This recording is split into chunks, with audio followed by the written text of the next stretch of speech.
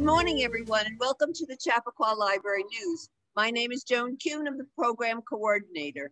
And right now I am videotaping this program from the beautiful courtyard at the library. And um, you'll see a lot of interesting things soon. So, and now I would like to welcome the director of the library, Andrew Barber. Welcome, Andrew. Hi, Joan. Thanks for having me this morning. As Joan said, my name is Andrew Farber. I'm the director here at the Chappaqua Library. I wanted to start by thanking the Chappaqua residents for the, their overwhelming support in our positive vote on our budget and the election of one of our board members, Shorey Annan. Thank you again. Uh, we could not be the library we are without all of your support, along with our great staff. I have exciting news to share. The library is now open for extended browsing hours. We're open Monday through Thursday from 10 a.m. to 7.30 p.m., Fridays from 10 a.m. to 5.30 p.m., and Saturdays from 10 a.m. until 4.30 p.m. We're also extremely excited to announce that our children's room is finally open. If you haven't had the chance, please stop by and check out the children's room. I'd like to take this opportunity to introduce our new head of library services, Tao Nguyen. Hi, Andrew. Thanks for the introduction. Joan, I'm so happy to I'm have so this happy. conversation with you today. And I'm so happy you're here. And I'm really glad to join us at a time where we can do this in the courtyard and outside and join Chappaqua in the springtime because everything is just so beautiful. It and I think it's very an optimistic time for the community. So I know, uh, Andrew, you have a couple of questions you want to ask Tao.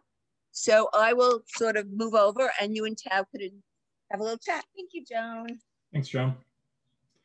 Hi, Tao. It's a pleasure to have you on the Library News. It's, I think, your first time uh, on, on camera with us here uh, in this video. Um, why don't you uh, tell us a little bit about yourself? Sure. Thanks, Andrew. Um, so I am um, a librarian and I got my master's in Albany. And prior to joining Chappaqua, I was the assistant director at the Croton Free Library. I've worked at many different libraries all throughout Westchester. I was a children's librarian, I was an adult um, programming and outreach coordinator, and I'm very excited to join the team here. Thank you. We are very excited to have you here as well. I know you've been here for about a month now. Um, would you like to share with us any of the projects you've begun working on or anything that you're excited uh, to be diving into here at the library? Yeah, absolutely. I think um, this is a great transition period for the Chappaqua Library. You know, Andrew joined us um, six months ago, and I'm just joining the team now. Um, and we're going through a big transition. I think everyone in the community is, but our library is starting um, to delve into a new strategic plan at this time. Um, and that's, I think, what I'm most excited about is to really be here from the, at a time where we're building from the ground up. Um, and it's, it's really exciting to get to know all of the different departments and all of the organizations from the board to the friends. Um, Joan has been really lovely in trying to introduce me to all of the community groups here in Chappaqua. And um, I think that'll be really exciting to get to know our users, um, the people that we serve in the community. Um, so yeah, I'm very excited about that. Excellent. Uh, well, thank you again. Um, and now, Joan, I believe you had uh, some programs to discuss. Right. I um, I have lots to talk about, but first I want to say how excited I personally am because, as you know, every time I get a new program, I like to have to discuss it with someone. And Andrew seems to be always because he's so new, he has to go to so many meetings. I need somebody to bounce ideas off. So I have been thrilled that you are here, and I'm able to always pop into your office Absolutely. and talk to you about yes. all the upcoming events. Yes. It's been we're, we're very lucky in this library. Yes. Um, I want to again, as Andrew said, thank everybody for the uh, support you did show in voting for us, and um, and I think we have such a wonderful staff here at the library, and Andrew's doing such a great job pulling us all together. Well, yay, the landscaper stop stop. so um, yeah, it's really been it's been so much fun. It's like a whole new world here at the library. So um, I want to thank everybody. Thank I'm you, really excited Thank you. and just stay here because you know I'll have to bounce ideas off you. So, um, uh, Andrew, do you want to talk at all about the, the construction? Originally, we were going to be in one of the rooms with all the construction stuff behind us. so you could see what it, what it looks like at the library. But then Tao had this idea, it's such a beautiful day, we should go outside. We're in the courtyard and it's just beautiful. Absolutely. Well, our children's room, as you heard, is uh, open to the public. We've finally been able to finish the internal construction. Uh, we still have a little bit more work for the children's room on the outside. Uh, sunshades will be coming. Uh, we are hoping soon to start our new roof restoration project. Uh, our roof, as many of you have probably heard over the years, is in a, um, a state of, of a, a, poor state at this point.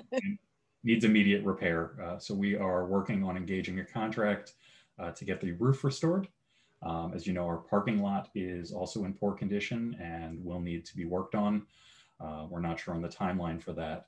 Um, and then once the uh, theater has been emptied of all of the temporary children's materials and shelving, we will need to renovate the uh, theater as well. So although we are lucky to have the children's room open, uh, work at the Chappaqua Library will be continuing, uh, at least in the short term. Right. I've been getting so many queries about when the theater will be open for programming. And I hate to keep telling them, I'm sorry, I don't know when but there's so much work yet to do. So we all have to understand that and sort of just um, hope for the best that all it all goes smoothly. But it should, and um, we should be in the library in the near future, shall we say. So now I just want to mention some of the upcoming programs we're having at the library. Even though we are not in the space we would like to be in, the library has been extremely active. The children's room, as you know, is, has started on May 17th and they will continue with their online programs, which is Fridays Movers and Shakers and Baby Zoom, the storybook with Christina, which you have to register to get on the video. And that will be continue cooking for kids with the number four. Again, you have to register for it. Um, that will start in June 1st. And the last meeting for the school year for young critics and fading pages and parent child book groups. The new programs coming up will be um, some courtyard story times, and that will be, as I said, in the courtyard. Summer reading registration begins June 1st, and the Family Dragon Boat Festival, where registration is required, will be on June 12th. The young adult um, area of the library, oh, and soon they'll be able to see that gorgeous room. Yes. Oh, and we should talk about how gorgeous the children's room is. Yes, we have a bright new shiny children's room, right, Yes. Andrew? Yeah, and it's, as I, we should say that, um, even though it's not fully functional, it's absolutely, the feeling that you get when you walk in is spectacular. Yeah. A very welcoming and very open, Mhm. and it's just lovely. I think everybody in this community will be thrilled about the progress and the, and, and what it looks like. So, and then the young adult programs, which I'll read in a minute, that young adult area is spectacular. Yeah, that's one of my favorite places in the library. you know, Kathy's done a really good job bringing all of her like house plants over to the library Right. and really making it like a home for the teens. Yeah, You know, our pages are already hanging out there, and I think they're they're really enjoying themselves. it'll be a big hangout place. And I noticed she has a big fish tank. Yes. So if you're, if you have just free time and you want to get the peace and quiet that you feel by viewing a fish swim, I think that's the place to be.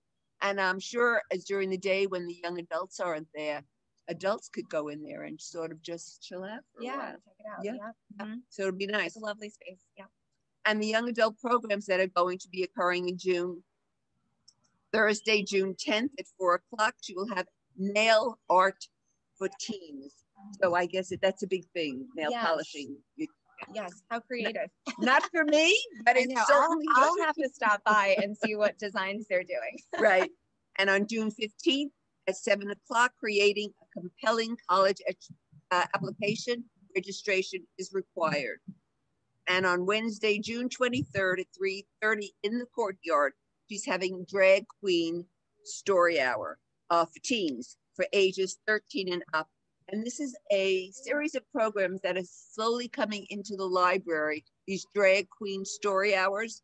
And I'm glad to see that the young adult librarian has um, jumped on the bandwagon. Yeah, it's very interesting. And Kathy was sort of educating me about it, how they're actually going to use, because it's for teens, they're going to use a young adult novel and they're actually going to read excerpts from it. So Yeah. I think that's Yeah. really exciting. When- and it's all for you know Pride is June. Uh, June is Pride Month. Right. So we're celebrating Pride. Sounds great. Um, I know uh, the former director and I had gone to many direct uh, meetings for the American Library Association and the drag queen story Mhm. hours populating throughout uh, the United States. Yeah. So Yep. glad to see that we're going to be part of that. So adult programs are also extremely busy. I will start on the 27th because that's in a few days from now. And we are having, uh, we continue with our series Jazz at Lincoln Center. Uh, again, it's a Zoom, it's a Zoom program. We're having the music of John Lewis and with Wynton Marsalis and the Jazz at Lincoln Center Orchestra. There is no time. What you will do is you register for it and I will send you a link.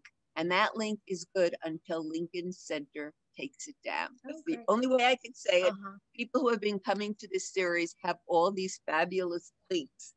And I don't know when they're taking them down. Um, so that's all I have to say. But that's nice. It's like asynchronous. You can tune in at any At any time, over it's- Memorial weekend. You know, just put it in the background. Yes, Yeah, I- that's I- lovely. and I would assume people who have a lot of links are now going to listen to it all the time. Right. So this is a little perk that we have uh, that I found when I went to an ALA conference, Oh, Lincoln. Center. And I've been working with Cedric, and he has been a fabulous. He's also a jazz musician, Oh, so- and he's in charge of jazz at Lincoln Center. Um, and on Saturday, June 5th, I know it's an odd time. We usually don't have these kinds of lectures, but on June 10th, there is going to be a solar eclipse. And the solar eclipse means that the moon will be between the earth and the sun.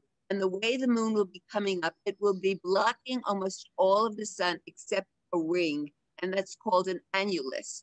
So this is an annulus, or it's called an annular solar eclipse.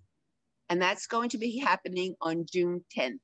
So on June 5th at two o'clock, which is this Saturday, we're having Hudson Valley meteorologist Joe Rao. Many of you might So know him from News Channel 12. mhm. He was the big man there. I used to listen to him to find out when my kids were going to school if it was a snow day. Anyway, so he is going to explain what the solar or annular solar eclipse is on June 10th. Um, and I don't know the time. He didn't offer the time, and I've been looking on the net. I know it's in the morning, but that's all I know. Okay, okay. And Joan, are we supposed to look directly at it? I'm not sure how this is. I think on June 5th at 2 o'clock, you should all come to the Chappaqua Library, register on the website, and you will know exactly what you're supposed to do.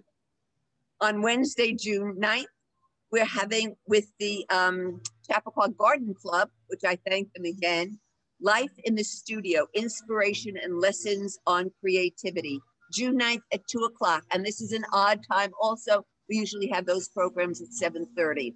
And I've, this woman's name is Frances Palmer, um, and she is a potter as well as a gardener. And Frances, if you look on her website, amazing woman. Her pottery is beautiful, but very pricey. And her plants are exquisite. So I just want to thank the um, Chappaqua Garden Club, and I hope you will all go and register for the program. Of course, all these programs are Zoom. We don't know when we're going to be um, virtual in person. Next program is June 15th at 7 o'clock. We're, having a program with food historian Sarah Wassberg, Wassberg, and it's going to be called Cooking by the Book Celebrity Mm. Cooks, Cookbookery, and the Changing Landscape of American Cuisine. This is my And she will discuss. She, I, I've been speaking to her on the phone. I haven't zoomed with her, and she is a lovely, funny woman. And I think you will all enjoy uh, this little break. She will discuss celebrity chefs, both obscure and familiar, from all over the country and across the decades. Again, you have to register for the program on Zoom. And then we are having a cooking demonstration. We had um, a program with the Korean um, Spirit Club, and now we're having a, which was a lantern meet, uh, Mhm. program, which was exquisite. Everyone who came is was thrilled, and they even purchased more kits so they could uh, continue making lanterns. Because I suggested that this might be cute in the summertime if you put a little lamp in them, and so everybody was saying, ah, Ah. summer decorations. Beautiful. So yeah. uh, don't forget, all of our programs are videotaped and on the net and on the web, our website. And if you want to learn about these things and how to to learn and purchase anything, you could always go back to our archives and find out. Anyway, they're going to be doing a program called A Taste of Korea. Learn to pronounce, and I'm not even going to attempt it, but it's a potato starch noodles with various vegetables with step-by-step Ooh. instructions. What you will do is once you register, uh, at some point, I will send you all the instructions and um, she will then demonstrate how to do this. So that is on Tuesday, June 22nd at seven o'clock. And then we have our, again, a June Jazz at Lincoln Center program. Again, no time, but you will get the link. And that will be Overflowing with Style, it's called, with mm-hmm. Wynton Marsalis and Jazz at Lincoln Center. So I hope you all come. And again, I want to welcome Tao to our library family. Thank you. And I want to say thank you, Andrew. Good luck with everything that's happening because you're the one in charge. So, and thank you all for coming to the program. And we'll see you again at the next Chappaqua Library News. Bye bye. Bye. Bye.